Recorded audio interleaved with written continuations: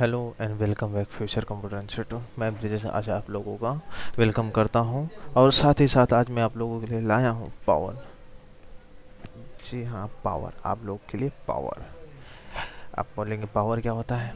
दरअसल पावर एक फार्मूला है जिन्होंने एक्सेल में बनाया गया है और उसका बहुत ही मज़ेदार यूज़ है। सी हम सबने स्कूल गए हैं और हम सब जानते हैं स्कूल में एक सम हुआ करता था। जैसे कि यहाँ पे देखिए एग्जांपल दिया है यहाँ पे।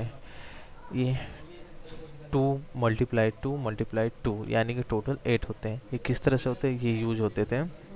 सी दो का गुना दो में किया तो चार हुआ। तो चार का गुना दो में किया आठ हुआ। उसी प्रकार, अगर ये बार बार ना करना पड़े, जैसे सपोज़ अगर मैं इक्वल टू फाइव गुना फाइव कितने होते हैं? पाँच का पाँच बार, पच्चीस एंड अगर पाँच और जोड़ दिया, पच्चीस मल्टीप्लाई पच्चीस, एक सौ एक सौ पच्चीस हो जाते तो उसी प्रकार पावर फार्मूला है equal to P O W R power आप वो नंबर ले लो। नंबर लेने के बाद उसका कितने टाइम्स आप गुना करना चाहते हो? नंबर ऑफ़ टाइम्स मैंने यहाँ पे लिख के रखे हुए थ्री टाइम्स ठीक? यहाँ पे ए देखिए एट उसी प्रकार यहाँ पे सेलेक्ट करने के बाद कंट्रोल डी सारे हो गए। सी अगर मैं दो का दो में किया चार, अगर मैं तीन बार किया तो आठ।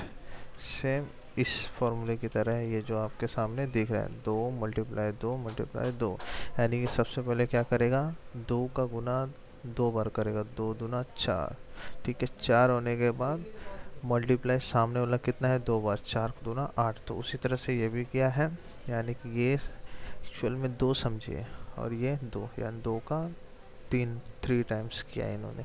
उसी तरह से ये चार का चार मल्टीप्लाई चार।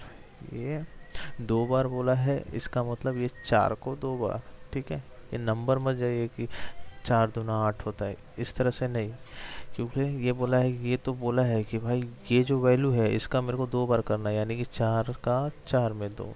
उसी तरह से ये टेन टेन बोला है, दो बार करने को बोला है, यानी कि दस का मल्टीप्लाई दो बार करो। एक दस, एक बार और दस। जैसे कि देखिए यहाँ पे एग्जांपल इक्वल टू दस मल्टीप्लाई दस। कितने बार हुआ?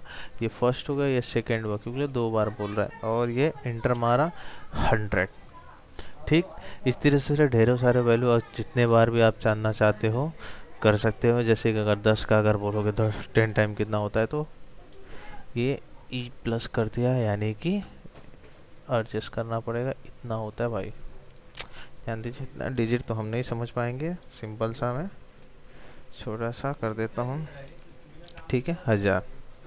ओके आई होप आप लोगों को ये वीडियो अच्छा लगा होगा। छोटा सा एक वीडियो आप लोगों को ये डेडिकेट करता हूँ। कभी आपको ऐसा ज़रूरत पड़ सकता है मल्टीप्लाई ठीक है? आप इसे यूज़ कर सकते हैं। ठीक है? आप लोगों को ये वीडियो कैसा लगा, आप ज़रूर हमें बताइए। आप अपने इम्पोर्टेंट थॉट हमें शेयर कर सकते हैं, आप कुछ बातें पूछ सकते हैं। और साथ साथ साथ ही आप हमारे चैनल से जुड़े रहिए।